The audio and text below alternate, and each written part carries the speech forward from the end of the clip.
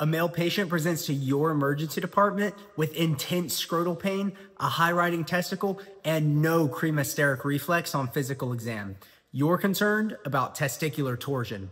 Let's talk about the most salient points of managing this pathology. Number one is that testicular torsion is a surgical emergency.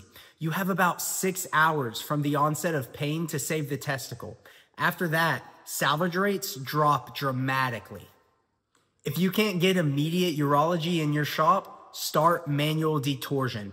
Most torsions occur from lateral to medial, so you want to detorse from medial to lateral, like opening a book.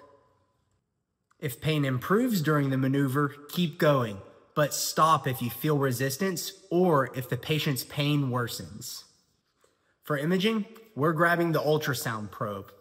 Either color Doppler or power Doppler should be used at bedside, but remember that power Doppler is less angle dependent and more sensitive for slow flow. Remember to tune your Doppler using gain and scale modifications so that you see flow in the unaffected side without too much flashover artifact before you compare your unaffected side to your affected side. Now, color flow and power Doppler have high sensitivity and specificity for complete torsion.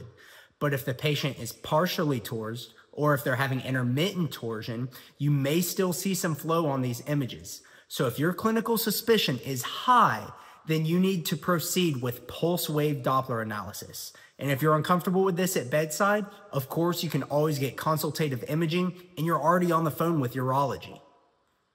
And of course, don't forget to treat their pain. So remember, six hours from the onset of their pain, color and power Doppler for imaging, open that book, from medial to lateral to detorse the patient while urology is on their way in.